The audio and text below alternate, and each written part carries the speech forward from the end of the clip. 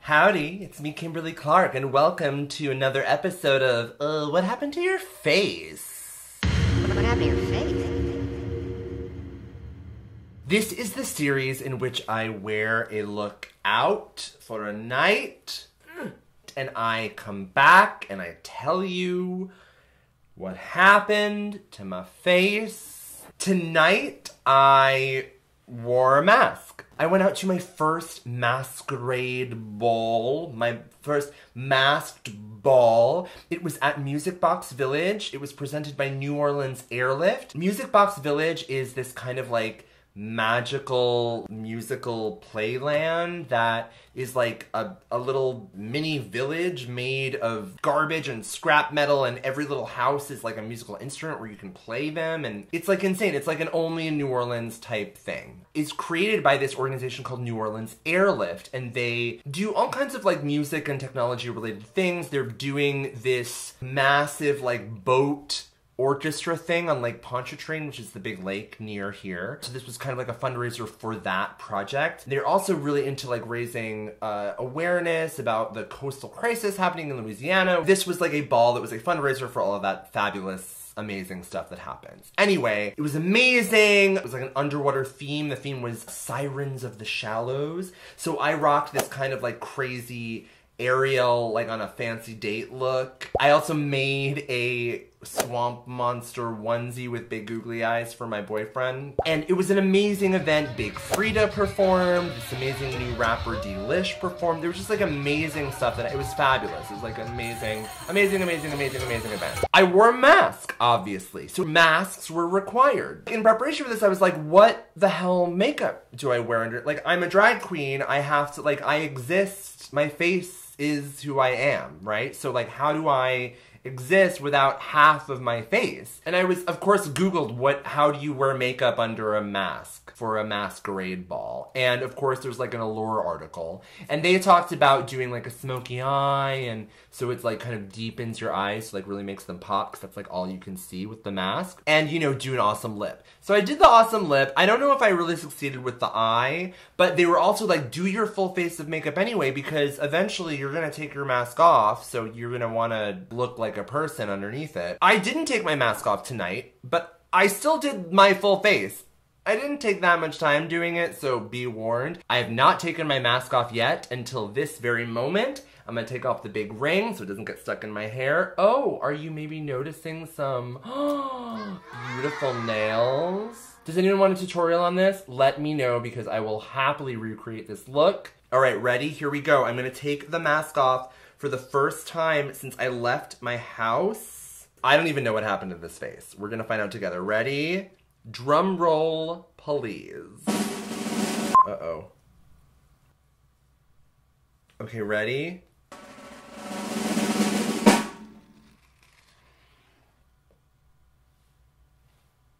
Oh my god! Holy shit! What?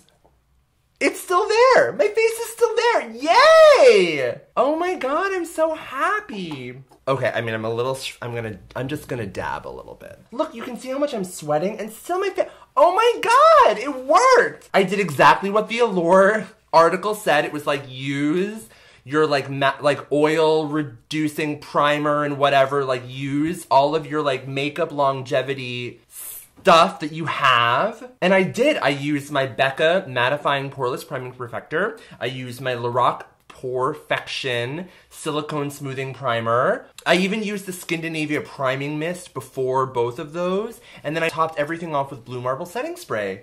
And holy fuck! Are you kidding? This looks amazing! I'm really impressed with my, this is amazing. I didn't do a red brow because that just takes longer to get the actual like tone right and everything.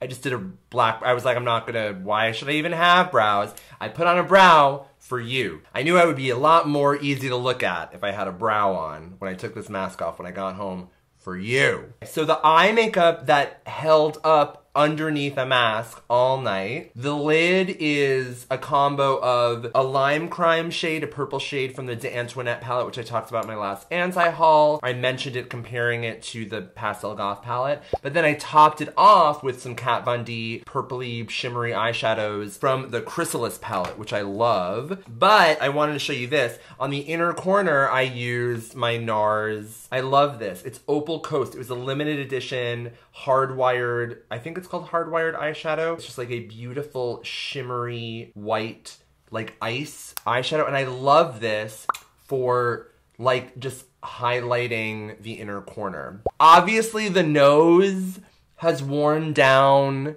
quite a bit because my mask where did it go? I don't know where it even went. Oh, here. My mask was uh, touching my nose. Oh, look and my brows. a little bit of my blush came off a little bit. I used the combo of the Too Faced Love Flush Blush in How Deep Is Your Love and the Milani Rose Powder Blush in Coral Cove. Just like a slightly deeper coral shade and a very bright coral shade. I did like a little bit of a blush ombre with these two. I thought it was great. I had to add some coral into the face because I'm wearing this fabulous coral dress from Trashy Diva. Oh, look at this beautiful shelf bust. Isn't this gort circle skirt? I, like, I, ugh, I love this store. It's fat. You can order online. They didn't give me this dress for free. I bought it. It was on sale, but I bought it. Like, oh my god. But I needed, I knew I was gonna do a purple eye. I had this like lavender bra thing that I made. I made a lavender crinoline for it. So I knew I wanted to do like lavender coral combo. I asked you guys what color crinoline to make on uh, Instagram, and you guys had amazing suggestions. I don't. I followed none of them. Like I. Thank you for suggesting all the different colors of a crinoline to make, but I ended up making one that no one suggested. I think lavender. I love this lavender coral combo. It's like such a. Be- I love it. I even like started when I was like working on my beauty room. I've like started incorporating lavender plus like a peachy coral situation into my decor, which you will see. I'm gonna film a beauty room tour. It's gonna happen. Don't worry. Anyway, but I'm like obsessed with this color combo. So this is all to say I wore coral blush because I knew that most of my makeup was going to be this lavender purple situation. I really feel like the coral blush helps offset some of that. I could have done like a purple blush, but then it would have been like all purple on the face plus the purple mask. Like a little bit of coral I think helped humanize me a little bit, make me look a little bit more alive. Anyway, love it. The highlight, honestly, I can't tell if this is, no. I was gonna say I can't tell if this is grease or the highlight. No, it is the highlight because I'm shiny. You could see how I'm shiny on my nose, like around there. But look at this cheek. girl, girl. I think I might have talked about this in previous videos. This is the Makeup Forever Star Powder, not the new Star Lit powder. I have not tried that. This is their older formula. It's a loose powder. They have Star Powder and Diamond Powder. And now they have this new Star Lit powder, which I can't, I don't even know what that is. I can't vouch for it. But Star Powder is just like a very shimmery, kind of loose, highlighty pigment. Diamond Powder, I think, has actual glitter in it. But this is just the Star Powder. It's just a pigment. The way I applied it today, I'm going going to show you because I'm so obsessed with this. I feel like I've dabbled in this technique before, but I've never really tried it. This stuff is crazy powdery and when it's loose, it's just like insane.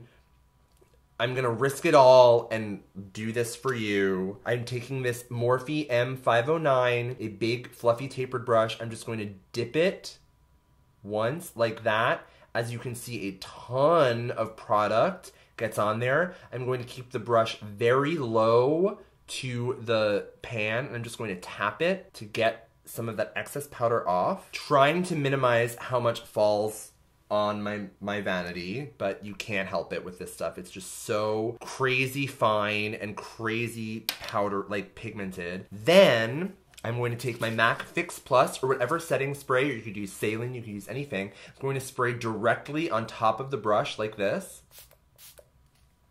and then watch. I'm just gonna apply it again to my cheek. You can still see it, it looks amazing, but watch. Like, it's like liquid. it's so stunning. It, you're literally you're foiling it. You're foiling this pigment. This is exactly how you foil. But because normally with a foil like foiled eyeshadow or something, you have to pack it on. But this, because it's so pigmented and so finely milled, you could use a big fluffy brush like this and use it wet and gah girl. And as you can see, it lasted pretty well. I mean, I just amped it up like crazy. It faded a little bit from this to what you just saw. Girl, girl. But like obsessed, obsessed. Oh. If you don't have this powder, this Makeup Forever powder, and you have just a loose shimmery eyeshadow or highlight or anything, like a MAC pigment like vanilla, a loose eyeshadow from like Shiro Cosmetics or like some other like indie makeup brand, a highlight from Magnolia Makeup, for example. Anyway, there's plenty of companies out there that make loose shimmery powders. It doesn't have to be this particular powder, but try this technique of dipping a fluffy brush in it, getting rid of all the excess, and then spritzing it directly with a saline solution or a finishing spray or something. And then look, you, you saw like, oh, it's just like fabulous robot highlight Oh, magic. Okay, that I can't Raven. It. I love it. I love it. I love it. I love it. The lips. Let's talk about the lips. Finally, the lips. So on my lips, I'm wearing like 8 million things, of course. I'm wearing two lip pencils from ColourPop in the shades Grind and Brills. They're kind of like my go-to combo for a purple lip. Grind is a deeper purple shade and it has a little bit more pink in it. That's what you can kind of see around the outsides of my lips. Brills is a little bit more like bluish lavender. You know these like they the things pop out in them. I still use them. I love them. But this is Brills and Grind. Anyway, but they're ombre lip liners and then I top them off with two different lipsticks. I use this Matte Glam by Milani, just like this fabulous, like purple, ugh, just gorgeous, gorgeous shade. That's all over my lips. And then in the center of my lips, I use this new limited edition MAC shade, Flatter My Fancy, Fancy My I actually don't know what it's called because I relabeled it. I like color coded all my MAC lipsticks and so it's FMF. But it's just like a cool, cooler lavender like purple shade. I'm showing you the back of it because the front of it has my like lipstick that I was wearing. So I did that ombre. Then, here's the thing I think that made the look actually, is I topped it off with this lip tar from OCC in the shade Rime. R I M E, as in rhyme of the ancient mariner. And it is just this beautiful iridescent seafoam shade with like a gold shift. Uh, it's kind of worn away a little bit. I reapplied it once during the night and it just created this amazing dimensional I'm gonna put more of this on just because I want you to see what this color looks like. Yeah, look at that. It's like iridescent seafoam green. I, again, the OCC lip tars, I don't, they're not matte. Like, even if they say they're matte, they're not. You have to like blot them in order to make them matte. And I don't think they're particularly long wearing. So I wasn't expecting my lipstick to last as long as like a liquid lipstick would last. But I, I am happy with how it held up. And honestly, up until like the end of the night, people were like, oh my God, your lipstick's amazing. Like, so I feel like I was, I was impressed with how it lasted regardless. I am like, I can't even believe that this is my face. Like I'm looking at it now and I mean, look, there's some breaking, it's breaking down there because I was, my nose was running because this shit was pressed up against it all night and it made my sinuses all weird. And I feel like I say it in almost all of these videos, like the, the drag queen trifecta of like cream color, powder color, set it with a setting spray. Like that, it worked. Like I use like just the makeup that I always wear and oh my god, it lasted. Fabulous. That's what happened to my face. Under a mask. Can you believe it? Oh, look at the little eyebrows. I'm Kimberly Clark. Thank you so much for watching. Please uh, check out my other videos. Subscribe to my channel if you haven't already. I want to give a huge thank you to all of my patrons on Patreon. These videos happen because of you. Tell me about, have you ever been to a masquerade ball before? And if so, how have you worn your makeup? Do you have any tips? To how to wear makeup under a mask and then at the end of the night take it off and have it still look this freaking good. Jesus Christ. I am Uh, this is amazing. I'm amazed. I don't think I've ever been this amazed with my makeup. This fast eye look that I did with my crazy brows that don't match, but still, wow. Wow. I'm impressed. I'm impressed with myself.